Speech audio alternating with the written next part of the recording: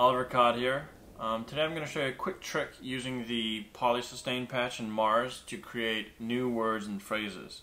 But first let's look at the options we have uh, within the, the user interface. We've got our basic XBlend feature here. Okay,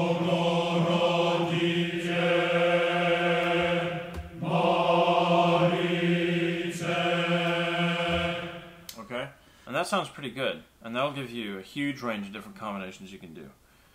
The only problem with that is that each phrase here is being triggered simultaneously, so you don't have full control on where you're going to X-fade between the two. You know, if I want to crossfade Bogorodice with Marie, say Bogoroditsarie, that wouldn't be possible because by the time we're at Dietze, this one will also be at yay. So we can't do that. And the other options with the legato on, you know, you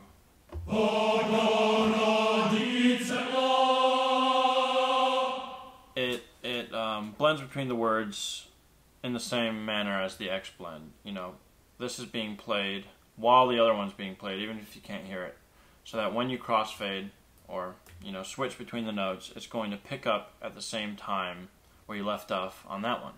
So again, I wouldn't be able to do tie go rie or something like that.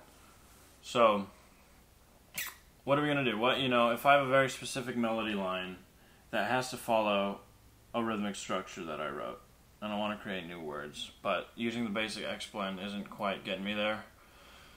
What am I gonna do? So I came up with this trick to give myself more control with the blending of words for my for my Mars track. Um, basically, what it is, you know, look at what they're doing here. They're blending, crossfading between the two different words, and my only limitation is that I don't have control as far as where in the word it's intersecting.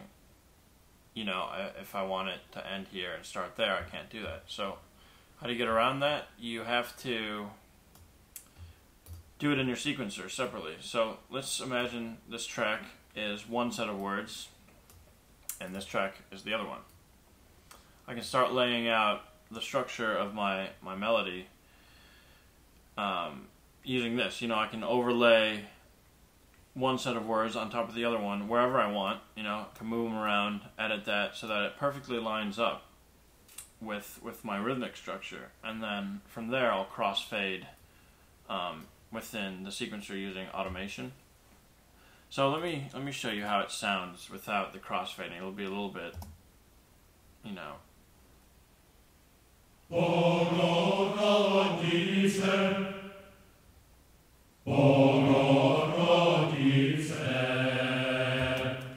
Okay, so that was the first set of words. Obviously, it's missing a gap because that's where the other one comes in to connect. So let's hear them together now.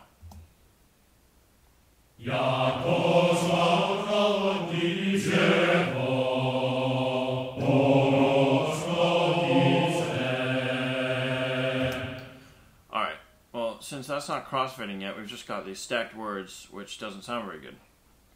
So let's take a look over here. Meet these, and let's look at what's actually going on. Here's the same passage, but with the automation data.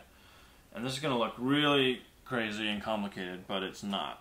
Um, focus on these points where one is fading up, the other is fading down.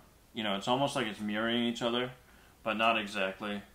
Um, because the, the fade isn't completely symmetrical like it is here.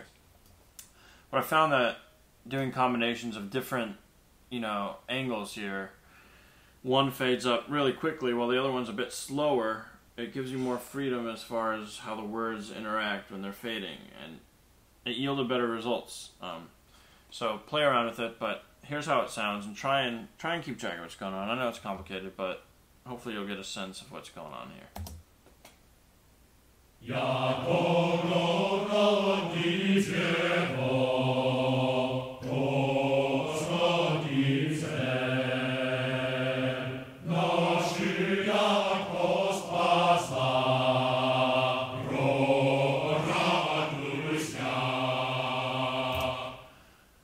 Okay, so you can see, you know, one picks up here and where the other one leaves off. And same here, same here.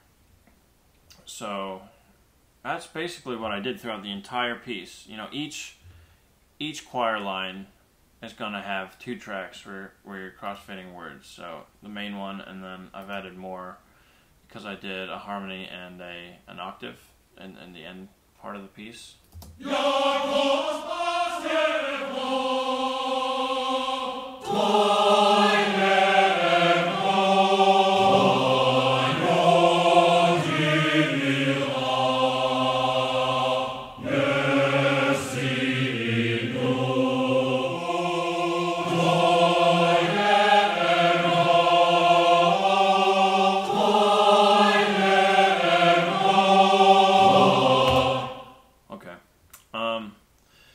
So yeah, that's basically what I did for my track. Uh, the whole thing is just polysustains that I crossfaded outside of Kontakt because I, I just needed that that little bit extra control uh, as far as combining words go, and and I think the results were were pretty good.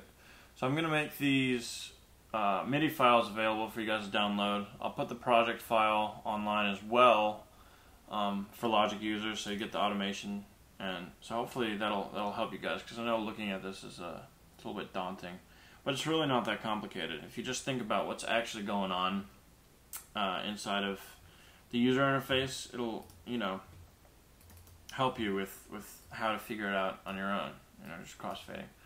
So you know that's all I did for the choir. Uh, with within the track, I added a little bit of reverb and that was about it. So you know, here's it in in context.